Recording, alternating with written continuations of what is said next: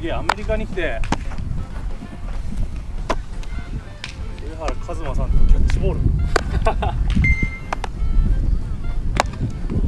あー生まれた時からこっち三三歳ぐらいに三歳はい。まあ父さんがオリオールズにそっか。はい。2009年ぐらいですか。テキサスに行って。テキサスで、はい、でボストンでシカゴに行って。それでで最後は東京。じゃないです。えボストンの時ってはい。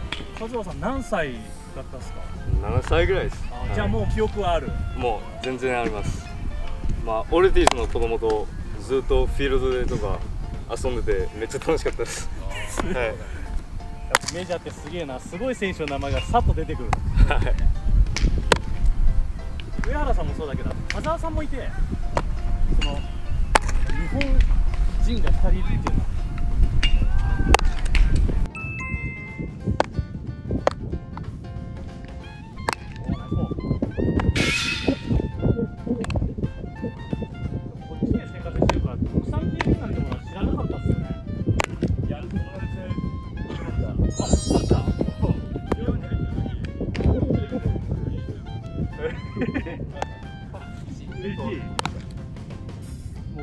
YouTube やられてるもんね。あ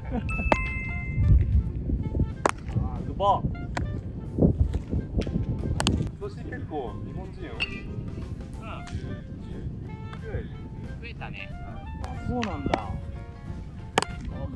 今会話の中で出た IMG アカデミーとは日本から約1万2000キロ離れたこの場所アメリカ合衆国フロリダ州ブレーデントンにある中高一貫の学校のこと。約80カ国から生徒が集まり毎年95%を超える卒業生がアメリカの大学に進学。多くはディビジョン1にカテゴライズされるトップ校でアスリートとして活躍しているそうです。敷地の広さはなんと東京ドーム約50個分。テニス野球バスケサッカーなどなど多くの部活があるんですが。ここ全寮制らしいんですけれどもこの寮には綺麗なプールも完備されているというなんかちょっとリゾート地っぽくもあるんですよね。そして最新鋭のマシーンが設置されているトレーニングルームではあえてすごい。もらえたねすごいね。うん。プロテインももらえるけどもう一回聞いてみたい。そうなの。そうそう Our um, OK thank you. You're welcome. ホワイトこれが今ここに通ってる学生たちは全部もらえるってことだね。そうだね。で適切な時間に適切な量を飲むように栄養学の授業とかで習ってそれを実際にそれをもらって実践をするやるんだ。そう。で体作りをするとそう。トレーニングの前のプロテインと後のまあリカバリーとかのプロテインがあったり。ここはもはや学校なのかと思うほどの超設備病院リハビリ施設も併設されているというマジで何でもありました。そんな IMG アカデミーに通う上原一馬さんがここで勉強とスポーツの両立で奮闘をしているということ。ちなみに日本とアメリカの違いそしてアメリカに挑戦する日本人が苦労する点などを一馬さんはこう話す。日本の先輩なのでアメリカはそんなそうか先輩後輩とかないもんね。あーグッバーはいそれ一番きついと思う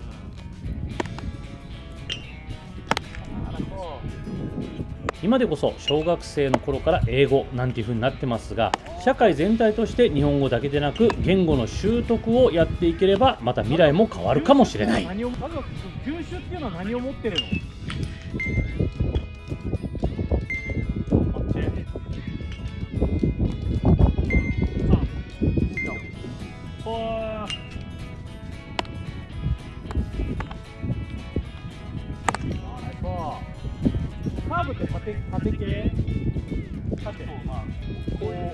大きく。曲げてくるねだから、まあ、結構な。んかこうなるみたいな。こっちからこうして、今和馬さんが言った実際の映像がこちら。これご本人からいただきました。IMG アカデミーで登板した時の試合ですね。こんな感じで左バッターからしたら思わずちょっとのけぞってしまうような大きなカーブ。これが特徴ちなみに日本から戻ってきたばかりのためこの日は調整で軽めのキャッチボールだけさせてもらいました。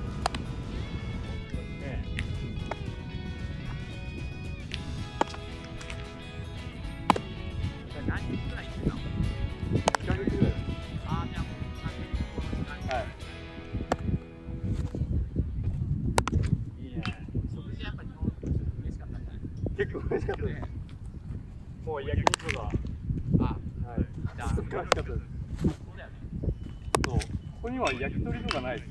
はい。あそっかはい。もう、本当に美味しかったです。焼き鳥ね焼きはい。焼き鳥うまいもんね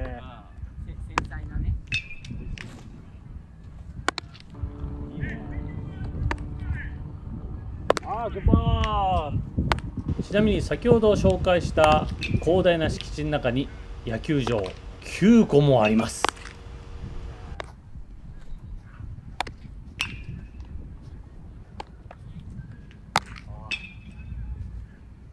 だいぶコンパクトなフォームだ今もやっぱりいいね何マイルぐらいだよいや、全然ないです。あそうなの？135、7ぐらいです。と思うそれは2年前で。ああいやでも結構十分日本基準だと135投げる、まあ、高校生ぐらいの年齢だったら十分あの IMG、本当にやばいです。ナショナルチームが。もう100マイル出るピッチャーも。マジ？はい。キャム・ジョンソンも。すごいねはい。もそれで大学生？えっと、だから、う、いや、ここ同じ？はい。もう1個です。嘘でしょ？やばいです。やばかったです。もう体も結構大きくて。も25連勝したんだよね、そのチーム、ね。はいで、そこのチームの。全米の中で試合して25う、連勝してで100マイルちょっとやばいです。はまあ、リリースも結構低いんで。こういうねちょっはいとスリークォーター気味から今もうこっちではその胸元のストレートがうん。今武器になってるからこっちのあメメジャーリーグで特にストレートも全然ストレートじゃないです。ファストボールだねだから中中心はい。シンカーが。でもそ怖いね、その球が。もう左利きだったらもう本当に怖いですよ。怖いよね、顔が。サウスポーでこうあこんな、はい、こうこう待ったらこっちからこ あとスライダーもスライダーも結構やばいです。う、やばい、はうわ見てみたいね。すごいわ。ありがとうございましたキャッチボール。ありがとうございました。ありがとうございました。ちなみに和馬さん外野手にも挑戦中とのことでちょっと怪我などもあったらしいんですけれどもその前までは打率は5割近く33安打を放つなどバッティングでも非凡なセンスを発揮しているらしいです。今後の動向にも注目していきたいところとにかく広大な学校と整いまくりの環境。インタビュー場所へと移動中。グラウンド付近にはこんなものもありました。い。もうタグモンドが、はい、みんな食べてて。確かに。結構美味しそう。めっちゃうまそう。何？えこれ何？買えるの？使いました。やマジか。ばいです。あとスムーディーもあります。マジで？なんなん？信じらんねえおい。IMG アカデミーどうなってんだよ。マジで。IMG は中3から。中3から、あそうか、じゃあちょうどうん？4年？4今から5 4年年間ぐらい、5はい、年。やばいですよね。すごいね。はい。アメフトももう全部本当にえぐいです。やばいな、はい。アメフトとかすごいもんねアメリカね。何でもあります。あ人気がね。とバスケのコートもやば本当にやばい。全部結構綺麗です。これは今入る考えてる人をなるほどね。コアして、はい。そうかそうか。このカートでみんな見せて、野球場とかサッカー場ももう全部見てて、なるほどね、はそうか野球だけじゃないもんね、はい。いっぱいあるから。やばいです。今年からバレーボールもあれ入ってて、あそうなんだ、というわけで改めてカズマさんにインタビュー。普段日常会話は英語なんですがこの日は日本語で頑張ってくれました。上原和馬さんでございます。よろしくお願いします。よろしくお願いします。なんで、IMG アカデミーに入学したんですか？野球も真剣にやりたくて、違うレベルに行きたくて、ん。まあそれで IMG に来ました。は実際入ってみてい、はい。どうですか？まあ最初は緊張しました、はい。んまあ、中3で高校3年生とか対戦してて結構そうなんだ、はい、はい、結構辛かったんだけど、まあそのマウンドとか試合に出たらもう結構楽しくやって、はい、気持ちよかったです。はい。中学ってことは13歳ぐらいそうだよね、はい。えー、それが高校生ともはい、マッチアップするんだ、はい、結構厳しかった そうなんだ、い、やもう自分がどれだけマックスではい、投げてもバーンって打たれる。はい、まあマックス気にしなくて、まあ、コントロール一番、はい、考えてて13歳のトップで、絶対18歳に勝てないからアウト取る気持ちで、はい、なるほどね。実際この IMG アカデミーの中でスクールライフい、はい。こうやってるってどんなところですか？まあ寮入ってた時は、まあ友達と住んでて結構楽しかった、へー。はい、1213歳ぐらいからまあ自分で学校行くとか、ん。自分で宿題やるとか、自分で全部やるのは一番きつかったです。まあ。生活面も全部自分でやっていくのが、はい。それそれ一番結構大事なんで、は食べるものも食べないといけないし、はい。成長期だし、い、あ。練習もなんか自分でなんか足りなかったら自分でフィールドに出て、まあ友達と素振りとかはい。ーやるんだ、はい、結構やります。あじゃあここの中っていうのは基本的に学生だったらはい、使って大丈夫？使いあ使って大丈夫です。大丈夫なんだ。でも夏はキャンプで結構時間は短い。はい短いショートタイムで。はい、あれキャンプとか来てて。あーそっかそっか。はい。大会とか結構多いです。はい。はい実際なんかこう IMG アカデミーでまあ4年間はい。こういろいろ学んで、まあ、自分で成長した部分ってどこだと思いますか？How do you say、uh, self-discipline in Japanese? 自立とか。ああじ自立？自立する心、はい。まあ自分でこれやるとか、まあこんなぐらい食べなくちゃダメだとか、まあ試合前もなんかコンディションね。はい、寝てるとか、まあ、ストレッチしてるとか、水飲んでるか、もう全部考えないと全然100%に、はい、なれないと思うんです。でもそれってあの、まあ、先生たちから教えられるんはいですか、、全然。もう授業とかあってそれで全部習って、はい、それで試合とかに使います。はい。試合とか、はい。だからこうまあ野球のスキルアップもそうだけど一人の人間としても自立してったりちゃんと考える力はい。がどんどんどんどんアップしていくっていう感じがあるってことですよね。はあでもそれすごく大事ですよね。全然大事だと思います、うんはいまあ、人生でも、野球も終わっても仕事とか行くように、はい、それ一番大事です。そうだよね。はい、もうびっくりした。今上原和馬君からそう野球終わってからもう仕事っていう、それすごいね。いやすごいと思う。なかなかそのね17歳で野球じゃないところものために勉強とか、自分でいろんなことを考えてやるってことが大事。はい、あと大学入るためにまあ授業とか真剣にして、野球も真剣にしてもう全部へえ。ちなみにあの好きな科目ってあるんですか？勉強で。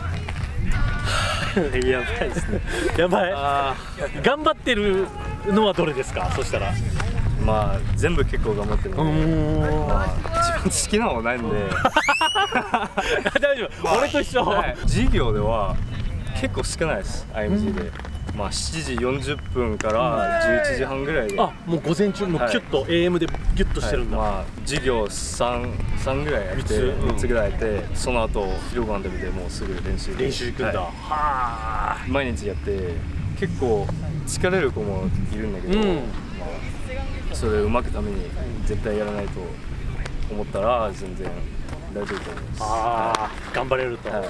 ただこう目標が高いんですね。はい。上田さんね。はい、ちっちゃい頃から、うんうん。お父さんうん。になれるかなと、うん。気持ちとか、ん。はい、それは一番結構強かったですああそっか。あ7歳ぐらいから、うん。まあ一緒に試合とか行ってて、うん。メジャーリーグのなんかロッカーとかうん。フィールドも練習ずっと見てて、まあ、それぐらいになりたいなと思って世界で活躍する父を持つ息子尊敬する父と思う一方でこんな気持ちもあったそうです even like from when I was younger like I didn't want him to like feel a, feel like a coach like my whole life I wanted him to like you know like also be a dad too you know have that like father figure in my life and all that stuff so I just I wanted him to have that like feeling yeah まあずっとなんか試合とかやってて、結構家にいなくてそうだ。れはそれは一番辛かった。ですそうだそうだ。はい。ねえそうだね そうだね。そうだよねおさ小学生とかさ低学年の時にお父さん家にずっといないって寂しい。けどねでもテテレビでも見て、まあそれははい、それはちょっと言えないんで、うんそうだよね。はい、ずっと試合とか夢中に、うん。はい、お父さんはね、はい、そっちにそっちに夢中になってもらって、まあそれプロになる時、まあそれだけ考えないと、まそうだよね。あはい、絶対上手くならないと思うんで、すごいな。全世界を熱狂させていた父上原浩二さん。その裏側で家族の奮闘があったことを初めて知りました。寂しかったと思った過去からプロとは何かに気づいた和馬さん。IMG アカデミーで成長を続け父の背中を追います。まあでもここからはねあのどんどん成長して野球人としても一人の、えー男としても、はいお父さんを今度超えていくようなね、はい、yeah, そういうね you know, yeah, I just at the end of the day, like with, whatever I do, I just wanna just wanna make him proud. So I mean that's the that's the end line right there. So yeah, making uh making him proud. Uh, yeah, just like have that feeling. 応援してますんで、ありがとうございます。うん頑張ってください体に気をつけてねはい、ありがとうございます。今日はありがとうございましたありがとうございます。ありがとうございましたいい話をたくさんありがとうございます。全然ありがとうございました。全然日本語上手だった 全然大丈夫だったおまけ雑談ですでも、まあねこっちの野球が基本的にメインだと思うんだけど、まあ、日本の野球もさっきねこの甲子園みたいな熱いものがはい。あの近くにあったらいいっていうふうにも言ってましたけど一番いいと思うんです。はい、これは。まあ甲子園とかないんで、んうんアメリカは。